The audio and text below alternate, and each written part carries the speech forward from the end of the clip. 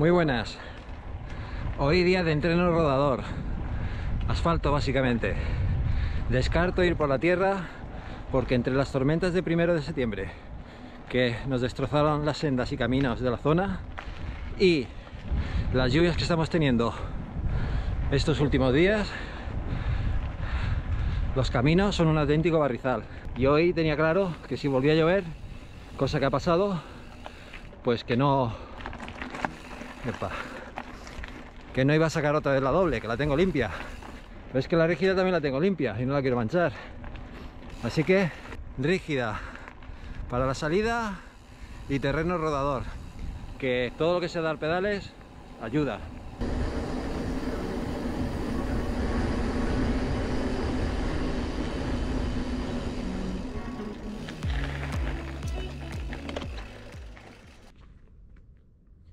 Y ahora vamos al grano, a lo importante, a lo que de verdad vamos a tratar en este vídeo. He sacado una serie de conclusiones en relación con la participación en la carrera de Vilafamés. Me comen las moscas, lo siento.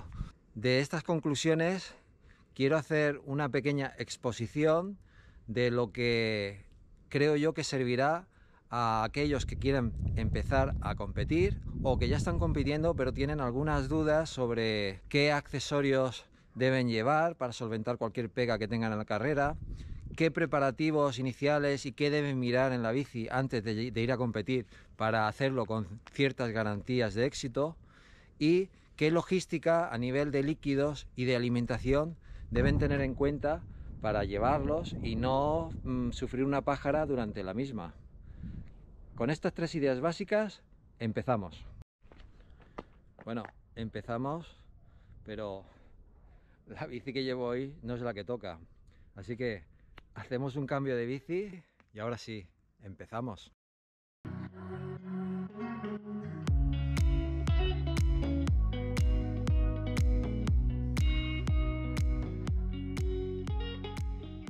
Y ya tenemos aquí a la bici que usé en la carrera, en la última carrera.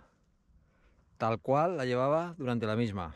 Y me sirve como ejemplo perfecto para explicaros las cosas que hay que tener en cuenta días antes de participar en un evento de esa clase. Mirad, yo lo primero que miré y además me di cuenta tres semanas antes cuando fui a hacer el reconocimiento del circuito de Vilafamés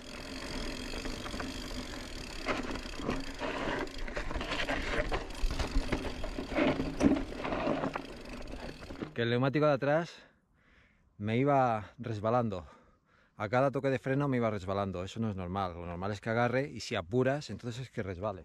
Lo que hice fue pasar el neumático de delante que estaba al 50% de subida, este neumático lo pasé aquí detrás, con lo cual le estoy dando atrás un taqueado bastante más fuerte del que tenía, pero con un neumático bastante más gastado, al 50% de su vida útil. Y le monté el mismo neumático que llevaba delante, nuevo otra vez, el neumático que llevo ahora es el Forecaster.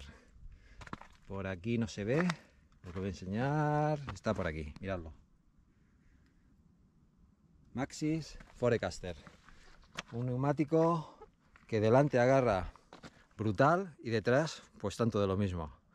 De hecho, varios tramos que hice eh, fui incapaz de hacerlos el día del reconocimiento, porque el neumático de atrás no me agarraba lo suficiente y no había manera de hacer aquellas subidas. En cambio, el día de la carrera, con este neumático sí que fui capaz de hacerlo.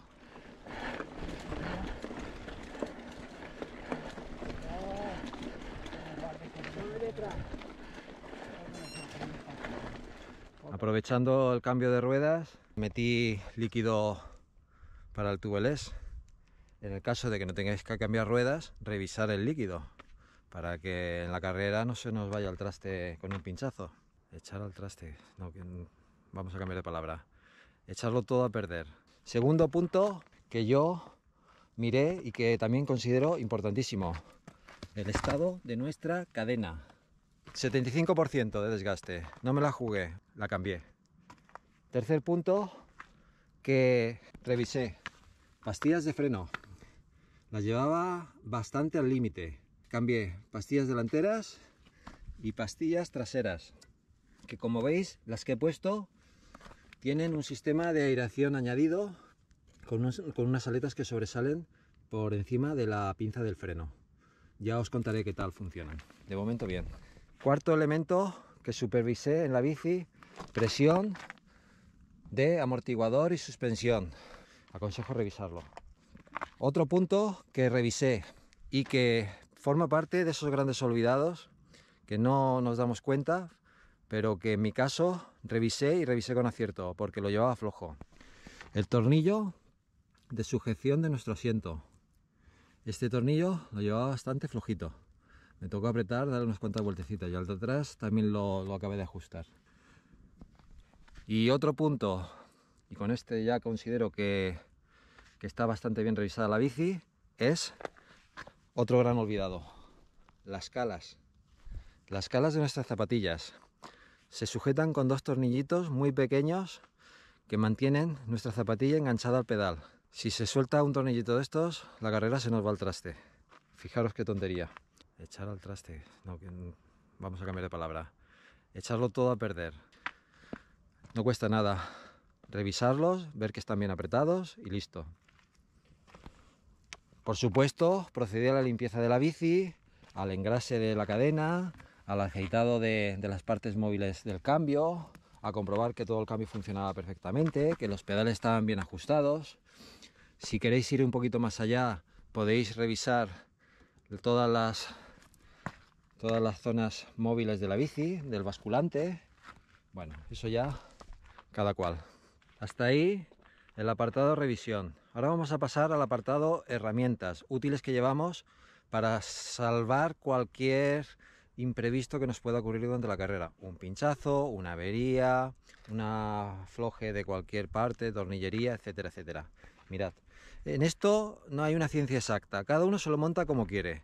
Yo en mi caso estudié muy mucho cómo quería la disposición de mis herramientas y mis accesorios y opté por esta, por esta base.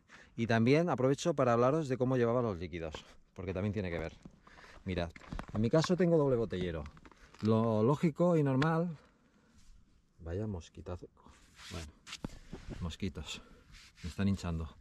Eh, lo lógico y normal es llevar una botella con, con agua y otra con sales minerales llevando el doble botellero. Y después las herramientas las puedes llevar repartidas entre el maillot que llevamos, los, los, bolsillos del maillot, o aquí puedes meter los tubos de CO2, aquí puedes meter la recámara, aquí en la bolsa puedes meter otras herramientas, la multiusos, y no hace falta llevar mochila. Eso es lo normal. Yo eh, opté por llevar mochila y además desde este verano que siempre la llevo, por una sencilla razón. Llevo la cámara llevo la cámara, llevo las baterías, llevo, mirad, bolsillitos donde llevo el trapito para limpiar la lente, ya que si la limpio con el guante acaba borrosa. Ya lo probé una vez y no me gustó nada. Bolsillito, mirad, bolsillito donde llevo mis baterías. La verdad es que me va muy bien. Y tal como vas avanzando la carrera, la mochila va perdiendo peso y lo único que te hace es sudar más. Pero aparte de eso, mmm, molestias cero. En este caso llevo un arnés que funciona muy bien, que se ajusta muy bien y voy muy contento con ella. Yo en mi caso opté por llevar una botella con sales minerales y una botella, que no es una botella, es un bote, de herramientas. Y aquí os voy a enseñar todas las herramientas que yo considero que son importantes de llevar o interesantes. La mascarilla, fundamental en estos tiempos que corren. Aquí tengo mi juego de mechas, para los pinchazos ya llevo aquí mi bombita de aire, que es pequeñita, pero que hace su trabajo. Va increíble. Y mirad qué pequeña que es. Ahora, eso sí, como pinches te vas a hinchar a manchar. Bueno, pero tiene buena capacidad, ¿eh? Otra cosita que llevo, vamos a ver. Ya que hablamos de inflar la rueda, mirad, esto es fundamental. Botes de CO2 con la boquilla ya preparada, solo tengo que girar, apretar y cargamos el neumático en, en 0,0 y otro de recambio. Más cositas que llevo, mirad. En esa bolsita llevo eslabón rápido, SRAM. Eslabón rápido, Shimano, porque el mismo bote lo uso para las dos bicis. Así no tengo que estar haciendo malabarismos. Un, un quitaobuses para desenroscarlo rápidamente un obús de recambio por si rompo el que llevo, los botes de CO2, las mechas, la bomba, multiherramientas, fundamental, con todo tipo de llaves Allen que usan la tornillería de nuestra bici. Bueno, ya veis que va muy bien equipada. Y, por supuesto, aquí llevo un tronchacadenas. Algo fundamental en el caso de que tengamos que cambiar cadena, porque el eslabón rápido sin el tronchacadenas poca función nos va a hacer. Cosas que también llevo y que considero útiles y que a veces pasamos por alto. Y que de hecho, justo antes de la carrera, me sirvió para echar una mano a un colega. Mirad, bridas. En total llevo cuatro, ¿eh? Van dos por aquí dentro y estas dos. Utilidad de las bridas, múltiple. En el caso del colega, tenía el dorsal, estaba poniendo el dorsal, solo tenía una brida, en la bolsa que le dieron solo llevaba una brida o le cayeron, no sé qué le pasó, y no tenía manera de colocar el dorsal.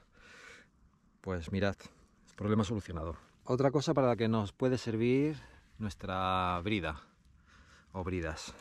Pues mirad, si juntamos dos bridas, una con otra, y las pasamos alrededor de nuestra zapatilla, en el caso de que esta, el boa, se estropee o el cable se acabe rompiendo, lo que podemos hacer es unir las, las dos y apretarlas. Con lo cual vamos a tener la zapatilla perfectamente acoplada a nuestro pie y sin problemas. Es una opción. También nos puede servir pues para enganchar cualquier pieza que se nos ha soltado o cualquier tornillo que va por ahí pegando, yo qué sé, no sé. Utilidad tiene. Bridas. Gomas de pollo, también me gusta llevarlas. Siempre son útiles para enganchar cualquier cosa. Y, y, y, y lo más importante, que no lo he dicho, aquí llevo la bolsita con la recámara y desmontables, que también los llevo aquí en la bolsa. Estos son todos los utensilios que llevé en la carrera, herramientas.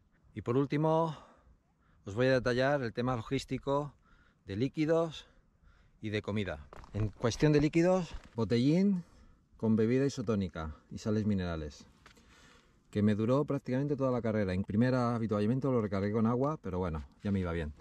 Cada hora tomé una pastilla de sales minerales, con lo cual ya tenía durante esa hora garantizada el aporte de sales minerales que necesitaba. En cuanto a líquidos, también voy con mi bolsa, litro y medio de agua. En cuanto a comida, opté por dos vías barritas energéticas y sobres con gel. Las barritas energéticas consumí una en la primera hora eh, de, recorrido y otra en la segunda. Y ya como llegué antes de la tercera ya no me, hizo falta. Si hubiese, si hubiese necesitado un aporte extra, eh, llevaba esos geles que son fáciles de consumir y que se absorben rápidamente por el organismo y te dan energía instantánea. No es lo que más me gusta porque igual que te da ese subidón tan rápido, también te da un bajón rápido. Por lo cual, durante la carrera, mi preferencia estuvo con las barritas y, me funcionó genial, ¿eh? Cero problemas. Llegué perfecto, de energía perfecto. En ningún momento noté desfallecimiento, al contrario, fui de menos a más. Y poco más os puedo comentar sobre el tema que, que hemos tratado hoy. Os he metido una buena chapa, lo siento, pero es lo que hay.